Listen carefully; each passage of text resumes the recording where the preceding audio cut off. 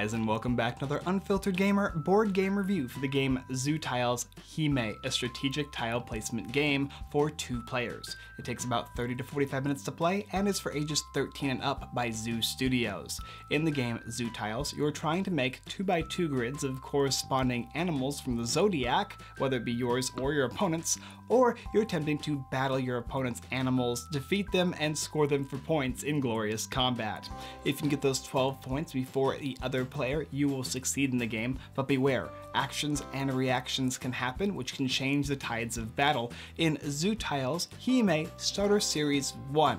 Now I'll come down, I'll show you the game, I'll explain how it's played, and then I'll come up and give you my review. So here is Zu Tiles and everything included in the game, which will be a box, the rulebook, uh, two action and reaction tiles, and then two separate decks, one for each player, and each deck has its own unique zodiac animals. This one here has like the tiger and the horse and the dog, and the other one has the pig, and it has the uh, ram and the bunny rabbit, and of course there are additional animals too, which means there's probably going to be additional content for this game, depending I guess on how well it does. Uh, each player is going to take all of their tiles, shuffle them up or pile shuffle them, and then deal them out into five areas or five stacks of eight tiles. Then, from anywhere, take five tiles, and these tiles will be your hand. After that, you're ready to begin the game. Select a player to go, and they will start by taking their turn. But just before you take your turn, remember to make sure that you have at least one of the basic starting animals in your hand, one with a strength and an intellect value.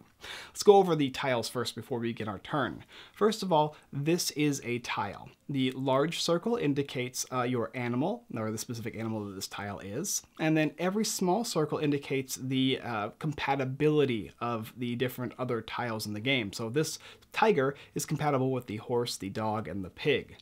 And here is another tiger. Here's the horse. The horse is compatible with a horse, a ram, a dog, uh, a lion, and I think that's, I don't know, a dragon, I believe. Uh, additionally, each tile has strength and intellect. These are what you need in order to defeat your opponent in combat, and then of course the name of the tile. The other tiles are going to be actions and reactions. And on the tile, if you see an A, that's an action. If you see an R, it's a reaction. Typically, actions are things you play on your turn, and you can play two of them. And reactions are things that you can play uh, countering another player's action. So you can create a stack, so to speak. And when you stack these up, it'll be actions and reactions. And you'll kind of go down the stack like you would in Magic the Gathering, the Magic the Gathering stack. You'll go through each one of them and do what they say, resulting in whatever is left. So to begin the game, you have to take your hand. I got make sure I got my animals and all of them. Yep, there's a bunch of bunny rabbits in this one. And then you can place a tile with strength and intellect into the playing area. So I can put an obstacle, which is basically another animal of sorts, and um, it doesn't have any cooperative animals with it. That's the one drawback, I suppose, to these tiles. I can place it down onto the field or one of my basic animals when I've placed, I then have two other things I can do as far as tiles go. I can place an action stack, so I can put down uh, an action stack there, and then my opponent can put a reaction, and I can put another action, and after that we would reveal them in order and see what they do. And then I could go ahead and do this again, another action stack after that. I'm also able to discard two tiles from my hand if I wanted to, and I could draw a tile from this stack here, and I could also go ahead and start a battle. If I have one of my tiles here and an opponent has one of theirs next to me, I can start a combat battle. So for instance, if I have this rabbit and this horse here, I wanted to, on my turn as the horse player, attack this player here, I would check my strength and intellect and see if I had a uh, uh, a, a, larger amount on both ends against my opponent, and if I did, I would win that tile and I would put it into my point scoring area. That's how you win the game by getting those 12 points.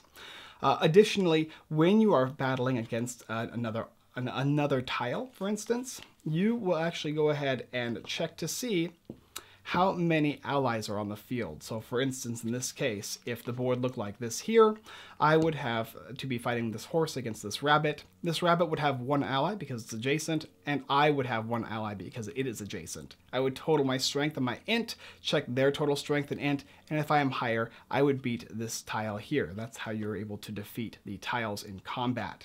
Another interesting thing too is when you have a set of four tiles here, if all of them match adjacent tiles. So for instance, this is a tiger and this is a tiger. So these two match but rabbits do not match with tigers. So in this case, I would not score this four, this two by two grid here. But if these two were adjacent with each other and they were allies or matched together, and these two were also adjacent and matched, and these two as well, and these two as well, then whoever placed the tile down, the fourth tile in the square here, will collect all tiles for their points. So it's kind of a way to basically score without actually having to start any type of combat. However, if they do not match, then they will stay on the field. Also, when you place tiles, you'll place them facing yourself. So these two tiles would be for this player, and these two tiles would be for this player over here. And that's pretty much how the game goes. At the end of your turn, you will uh, draw a tile, and uh, then play will pass. So in this case here, I could play a tile down here just like this, and then I will take a tile. Then the next player is going to go ahead and choose to place a tile down, and then they will take a tile. And you can draw tiles anywhere in your stack. Uh, these are these stacks here, of course. And then maybe I want to go ahead and do something like, I'll play another tiger. I could choose to enter combat, in which case I would have to choose a random tile from my hand, or one, one, one of my choosing, put it down into a battle stack. And then my opponent would then have the ability to choose to do any reactions that she or he may have, or they can simply pass, tally up the points, Whoever has the most strength and intellect combined against the animal that they are choosing to fight will then uh, be the winner and take the ally as points or the character as points. And then, of course, the player can choose to do things like discarding two and drawing. Whenever you discard, there's a discard pile on your right hand side, and the point scoring will be on your left and you'll keep going back and forth playing tiles down. Um, the only other thing I need to explain to you guys is that, of course, some of these uh, specific either specific like, items and obstacles, and putting them down, they are not technically animals, so you're not going to be able to score tile squares with them, but you can use them for combat and any other type of maybe action it might have or specific passive ability that may be on the tile. Like for instance, this, this action here I can play on my turn, I can discard a ram that I control from the playing area, and I can choose an opponent randomly select half of the tiles rounded up in their hand, and they'll discard those tiles. So at the cost of losing a ram here, the player of, my choosing is going to lose half of their hand rounded up. A very, very powerful move indeed. And of course, you don't have to choose to play tiles if you don't want to. You don't have to play actions or reactions if you don't want to. But remember, the less you play on the field, the more control your opponent will have. And eventually, if you let them, they will actually score uh, a two by two grid here. So as you can see, a tiger here, um, uh, would be adjacent to these guys, which would work. However, this tiger would not because it is the tigers not don't work with each other. So I'd have to find something maybe like oh I don't know a dog here.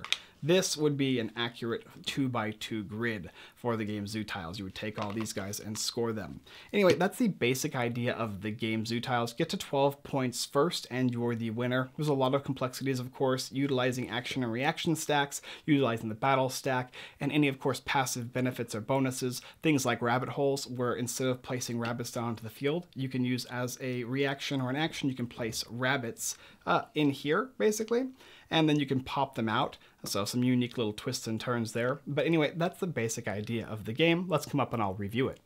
So Zu Tiles is a TCG of sorts, but instead of TCG, like trading card game, maybe like a TTG, a trading tile game of sorts, because you're going to have your own unique deck, which is going to come with the zodiac animals, actions, and reactions, and you're playing a game of strategy. You kind of combine your specific animals to work together.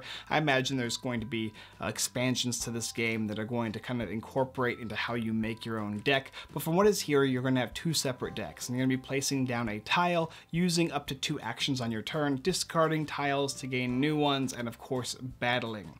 And the two different ways to win makes it a unique style of play. Do you want to remove tiles from the board and score them as points by defeating them in combat, or do you want to get those 2 by 2 sets scoring 4 points? Now, of course, it's kind of a game of chicken, a little bit of a mix with the type of actions you may have in your hands and how the uh, animals are going to interact with the actions that you have. Will you be kind of strategically placing them down for a later turn and understanding in what ways the tiles need to move based on the actions that you have either in your deck or in your hand at, at, at as it currently stands?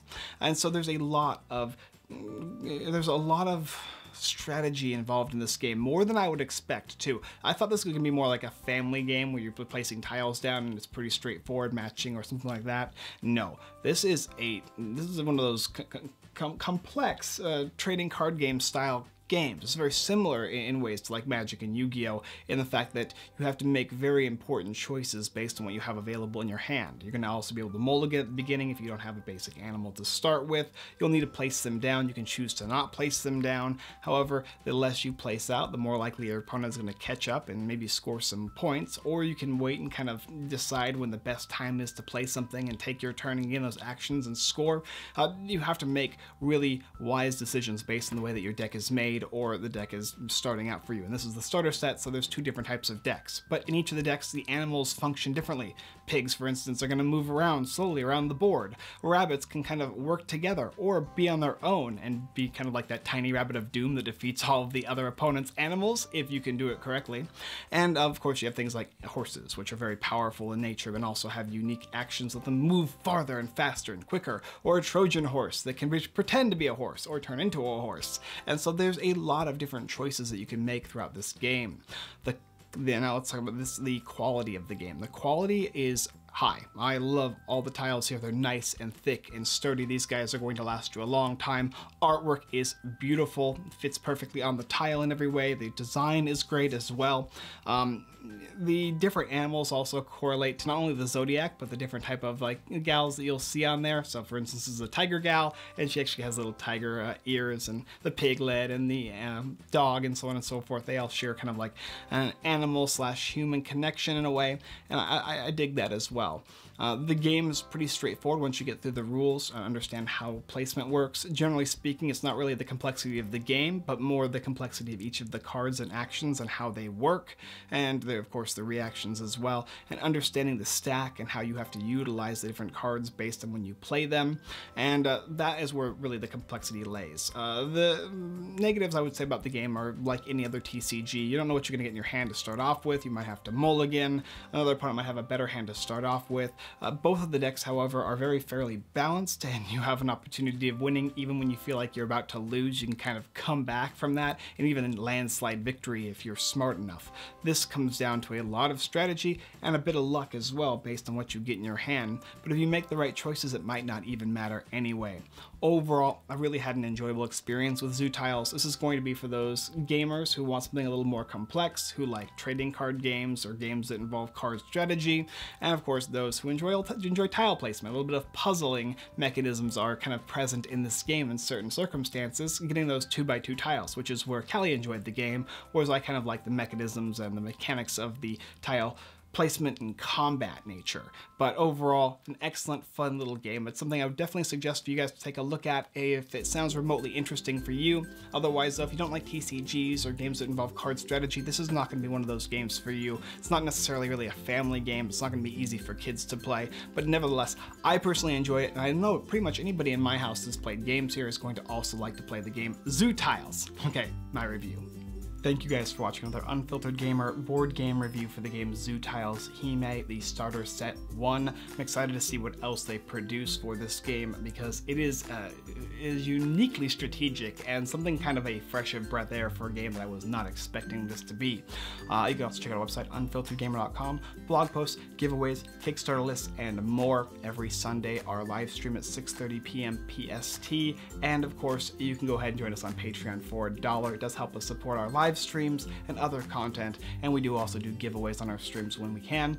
Thank you guys so much for watching, and as always, I look forward to defeating your stack next time.